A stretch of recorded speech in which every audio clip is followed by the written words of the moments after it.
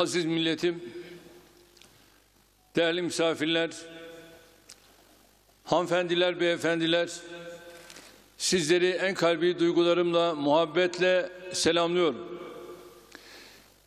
Yurt dışından programı teşrif eden misafirlerimize, ülkemize ve başkentimize hoş geldiniz diyorum. Uluslararası Medya ve İslamofobi Sempozyumu'nun insanlık, İslam alemi, ülkemiz, kurumlarımız için hayırlara vesile olmasını diliyorum. Görüşleri, değerlendirmeleri ve tartışmalarıyla sempozyuma katkı verecek olan herkese şimdiden şahsım, milletim adına teşekkürlerimi sunuyorum. Kültür ve Turizm Bakanlığımız ve İletişim Başkanlığımızın desteğiyle Türkiye Radyo ve Televizyon Üst Kurulumuz, Diyanet İşleri Başkanlığımız, TRT, Erciyes Üniversitesi ve SETA tarafından düzenlenen bu toplantının icrasında emeği geçen herkesi tebrik ediyorum. Sözlerime karşımızdaki meselenin İslamofobi yani İslam korkusu değil, düpedüz İslam düşmanlığı olduğunu belirterek başlamak istiyorum. Evet, Batı başta olmak üzere dünyanın pek çok yerinde İslam düşmanlığı hastalığı tıpkı kanser hücresi gibi hızla yayılmaktadır. Tarih boyunca farklı dinlere mensup insanlar arasında rekabet, gerginlik, hatta çok kanlı çatışmalar hep olmuştur. Anadolu'yu ve Kudüs'ü ele geçirme hülyasıyla gerçekleştirilen ve uzunca bir süre devam eden Haçlı seferleri yol açtığı yıkımlarla dünya tarihinin seyrini değiştirmiştir. Osmanlı'nın Viyana kapılarına kadar dayanan fetihleri sırasında bu çerçevede ne ecdadı ne bizi ne de torunlarımızı zan altında bırakacak hiçbir müessif hadiseye rastlanamaz. Buna mukabil Batı Türklerin şahsında somutlaştırdığı doğulu toplumlara karşı kibrini ve kinini oryantalizm kavramı adı altında daima korumuştur. İşte bunun son örneklerinden biri de Avusturya Başbakanlık binasına terörist İsrail'in bayrağını çekme kimsizliğini ortaya koyuyorsa bunun nerelere vardığını çok rahat anlamak mümkündür. Esasen Osmanlı bakiyesi coğrafyalarda girişilen geniş siyasi ve kültürel değişim hareketleri Batı'nın bu bölgedeki farklılıkları kendi formatı içinde eriterek yeniden kurgulama gayretinden ibarettir. Çevremize baktığımızda yer yer kısmi başarılarına rastlayabileceğimiz bu yaklaşım içerdiği dini ve etnik ırkçılık sebebiyle geniş bir taban tutmakta muvaffak olamamıştır. Bu başarısızlık İslam dünyasında bitip tükenmek bilmeyen dış müdahaleler, iç çatışmalar, derin ve kanlı hadiseler şeklinde kendini göstermiştir. Yakın tarihte İslam düşmanlığının yol açtığı acıların, Bosna'daki katliamların, Arakan'daki kıyımlara, halen Türkistan'dan Filistin'e pek çok yerde yaşanan trajedilere kadar sayısız örneği vardır. Günümüzdeki İslam düşmanlığı dalgası ise çok daha sinsi ve ölçülü yöntemlerle yürütülmektedir. Değerli misafirler, Amerikan yönetiminin 11 Eylül saldırıları ardından başlattığı Müslümanları şeytanlaştırma stratejisi pek çok toplumun kültürel yapısında zaten var olan İslam düşmanlığı virüsünü tetikleyen bir işlev görmüştür. Bugün Avrupa'da Fransa'nın başını çektiği kimi ülkeler İslam'ı kendi meşreplerine göre şekillendirmek için yoğun çaba içindedir. Sanayi devriminin ardından kendi halklarıyla birlikte sömürgeleştirdikleri pek çok coğrafyanın doğal kaynağı alın teri ve kanı üzerinde güçlü bir güvenlik ve refah düzeni kuranlar 21. yüzyıla ciddi endişelerle girdiler. Azalan nüfus artışı hızları sebebiyle demografik tehditlerle de karşı karşıya olan Batı ülkeleri değişen küresel güç dengelerinin yol açtığı belirsizlikleri kendi kamuoylarını faşist söylemlerle oyalayarak geçiştirmeye çalışıyor. Daha düne kadar marjinal kabul edilen kimi ırkçı akımların artık siyasetin merkezine yerleşmeleri, batının içine düştüğü bataklıktan kurtulmak yerine derine gömülmeyi tercih ettiğinin işaretidir. Uzunca bir süre dini özgürlüklerin kalesi olarak kendilerini dünyada seçkin bir konumu oturtanlar bugün Müslümanlara ait her türlü sembolü yasaklama yarışına girmiştir. Kutsal kitabımız Kur'an-ı Kerim'e Peygamber Efendimiz Aleyhisselatu Vesselam'a Müslüman kadınların ve erkeklerin kıyafetleri başta olmak üzere dini tercihlerini ifade eden sembollere yönelik saldırılar bizzat devletler tarafından himaye edilmekte dolayısıyla desteklenmektedir. İstatistikler sorunun ulaştığı vahim boyutları açıkça göstermektedir. Batı'da ırkçı ve İslam düşmanı saldırılar son 5 yıl içinde yüzde 250. Bu saldırılarda hayatını kaybedenlerin oranı ise yüzde 700 artmıştır. Yine son 5 yıl içinde en büyük 5 Avrupa Birliği ülkesinde sivil toplum kuruluşlarına 15 binin üzerine İslam düşmanlığı hadisesi bildirilmiştir. Avrupa'da mukim vatandaşlarımızı hedef alan bu saldırıların oranında da maalesef geçen yıla göre yüzde 54 artış olmuştur. Bir süre öncesine kadar sadece göz yumulan, sessiz kalınan, polisiye hadiseler seviyesinde tutularak dikkatlerden kaçırılan İslam düşmanlığı, bütün bu faaliyetleri artık anayasalara ve kanunlara derc edilmeye başlanmıştır. Ülkeyi yönetme sorumluluğunu üstlenen siyasi partilerle polis teşkilatları başta olmak üzere tüm vatandaşlarının güvenliğini sağlamakla sorumlu kamu otoriteleri adeta bir İslam düşmanlığı yarışına girişmiştir. Siyasetin ve kamu kurumlarının bu yönelimleri Batı ülkelerinde yaşayan demokrat insanlar arasında da İslam'a ve Müslümanlara karşı temelsiz bir ön yargının gelişmesine yol açmaktadır. Halbuki özgürlüklerin ortadan kalktığı bir yerde refahın da uzun süre varlığını sürdüremeyeceği gerçeğine sırtını dönenler aslında İslam'a değil kendi geleceklerine düşmanlık etmektedir. Şu gerçeğin akıl ve vicdan sahibi herkes tarafından kabul edileceğine inanıyorum. Tarih boyunca İspanya'dan Almanya'ya kadar Yahudi düşmanlığı ayıbının mahcubiyetiyle dini ve etnik özgürlük pergelini olabildiğince açan Batı ülkeleri şimdi aksi istikamette hızla yol almaktadır.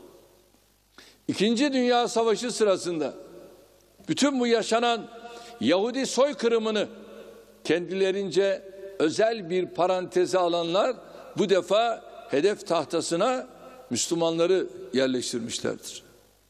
Zihniyet aynı olunca sonuçların farklı çıkması mümkün değildir.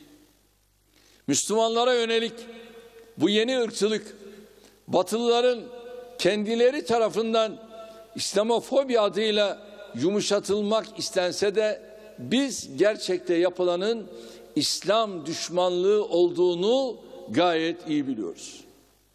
Önceleri İslam düşmanlığını İslami terör yaftasıyla meşrulaştırmaya çalışanlar artık gelinen noktada hiçbir ayrım yapmadan tüm Müslümanları hedef almaktan kaçınmıyor. Çünkü mızrak çuvala sığmıyor.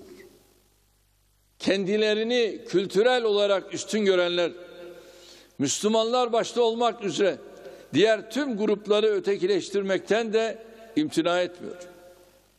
Bu ötekine yüklenen olumsuz anlamların Batı'nın kendi iç meselelerini çözmekte zorlandıkça artmasının gerisindeki sahipleri de iyi değerlendirmek gerekiyor. Asırlar boyunca bizzat aydınlarını kullanarak kuşaklar boyunca kendi toplumlarını İslam'la özdeşleştirdikleri Türk korkusuyla yetiştiren Avrupa böylece siyasi dağınıklıklığının yol açtığı sorunları saklamayı başarmıştı.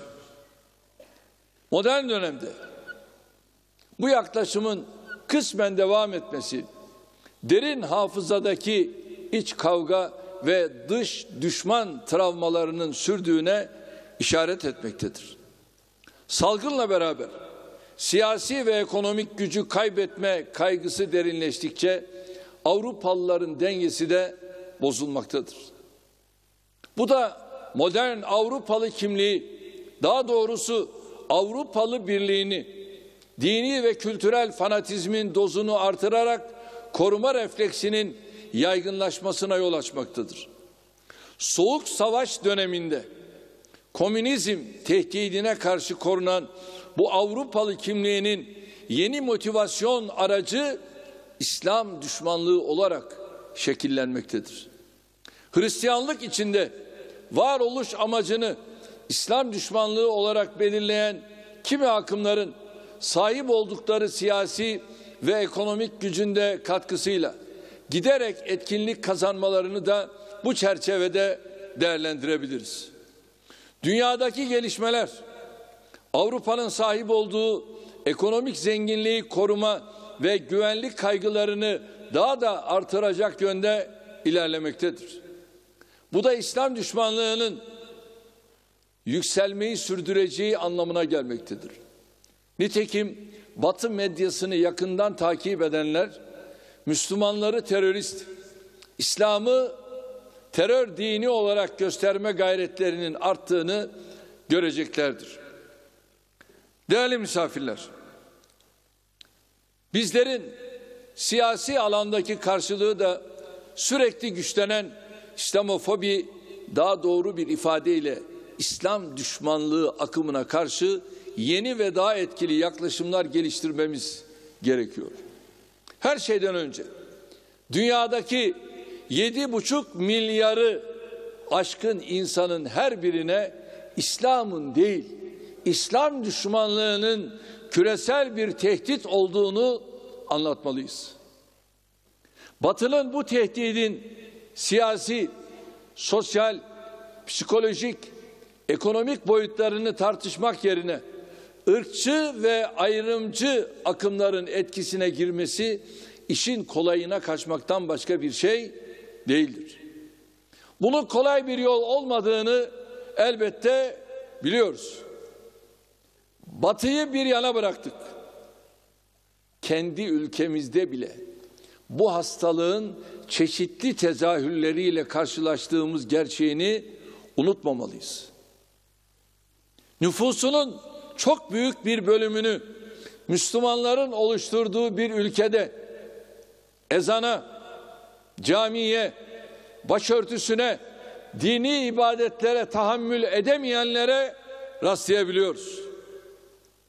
ülkemizde yıllardır süren laiklik tartışmalarının gerisinde dini özgürlüklerin korunmasından ziyade yasaklanması niyetlerinin yol açtığı gerilimler vardır.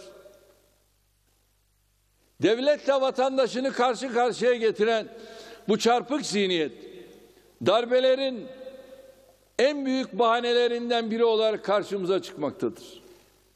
Çok partili siyasi hayatımızın kara lekeleri olan 1960 ve 1980 darbeleriyle 28 Şubat müdahalesinin argümanlarına baktığımızda bu gerçeği hep birlikte görüyoruz, görebiliriz. Demek ki İslam düşmanlığına karşı yürüteceğimiz mücadelenin stratejisini, içeriği de kapsayacak şekilde belirlememiz gerekiyor. Hiç şüphesiz bu mücadelede üzerinde en çok durulması gereken unsurların başında medya gelmektedir. İsrail'in Filistin şehirlerinde yol açtığı yıkımın ve gerçekleştirdiği katliamın üstünü örterken kendi hayat hakkını koruyan insanların direnişine terör yaftası yapıştırabilen bir medya düzeninde işimizin zor olduğu ortadadır. Aynı durum ülkemiz için de geçerlidir. Türkiye'nin terör örgütlerine karşı yürüttüğü bu mücadeleyi insan hakları ihlali kapsamına sokmaya çalışanlar kendilerine yönelik en küçük bir tehdide karşı sergilenen orantısız gücü ise olabildiğince yüceltiyorlar. Bu vesileyle 28 yıl önce 24 Mayıs 1993 tarihinde PKK tarafından Bingöl Elazığ yolunda otobüslerinin önleri kesilerek alçakça şehit edilen 33 sivil ve silahsız askerimizi rahmetle yad ediyorum. Bize düşen görev elimizdeki tüm imkanları kullanarak gerçekleri dünyaya anlatmak için çalışmaktır. Dünyanın her yerindeki vicdan sahibi siyasetçileri, aydınları, medya mensuplarını, din düşmanlarını, bu arada kendi din adamlarımızı, İslam düşmanlığı hastalığına karşı harekete geçirmemiz gerekiyor. Bu tehdide maruz kalan tüm toplumların ve ülkelerin bir araya gelerek uluslararası alanda güçlü bir iletişim ağı kurmaları şarttır. İnsanlığın tamamının huzuru ve güvenliği için hayati öneme sahip İslam düşmanlığının önüne geçilmesi çabaları oluşturulacak ortak akıl mekanizmaları ile yürütülmelidir. Aksi takdirde çok vakit ve enerji harcandığı halde oldukça az neticenin alındığı verimsiz bir tabloyla karşı karşıya kalmamız kaçınılmazdır. Dünyadaki mültecilerin çoğunluğunu Müslümanlar oluşturuyor. İç çatışmalarda en çok Müslümanlar ölüyor. Sefalet en çok Müslümanlar arasında görülüyorsa ortada öncelikle öncelikle çözülmesi gereken birlik, beraberlik ve dayanışma sorunu var demektir. İslam dünyası kendi arasında vahdeti tesis ettiğinde İslam düşmanlığına karşı verilecek mücadelenin kısa sürede neticeye ulaşması mümkündür. Aksi takdirde hep konuşulan, hep tartışılan ama işe yarar tek bir adımın bile atılamadığı mevcut kısır döngü hali sürüp gider.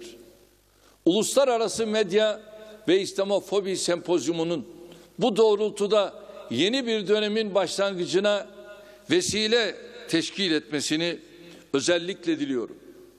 Sempozyuma fikirleriyle katkı verecek tüm bilim insanlarına, medya mensuplarına, katılımcılara bir kez daha teşekkür ediyorum. Bu önemli toplantının düzenlenmesinde emeği geçenleri tekrar tebrik ediyorum. Hepinize sevgilerimi, saygılarımı sunuyorum. Kalın sağlıcakla.